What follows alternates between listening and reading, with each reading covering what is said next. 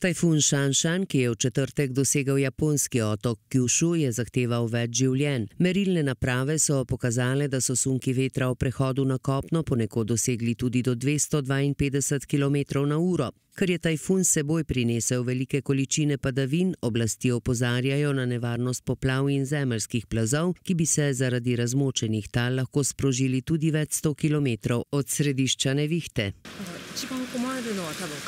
Turisti so se verjetno znašli v velikih težavah, prišli so nepripravljeni in zdaj so obtičali. Čeprav je tajfun po stiku s kopnim oslabel v tropsko nevihto, je padavine tudi v petek spremljal relativno močan veter.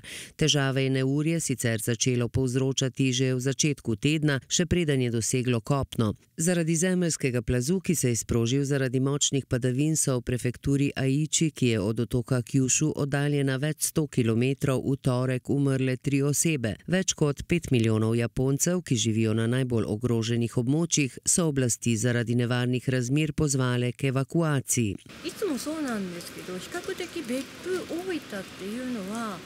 Pogosto se zgodi, da v mestih kot sta Bepu in Oita poročajo relativno majhni škodi, zato se nikoli ne pripravim na tajfune.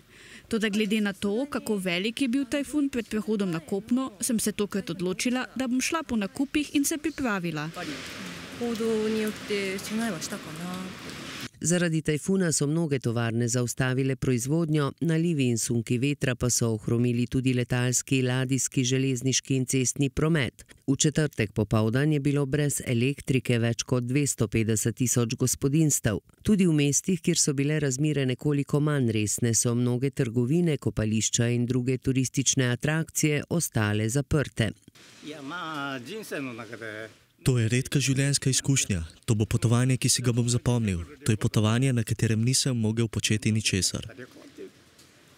V nekaterih delih otoka Kjušu so avgusta zabeležili rekordne padavine.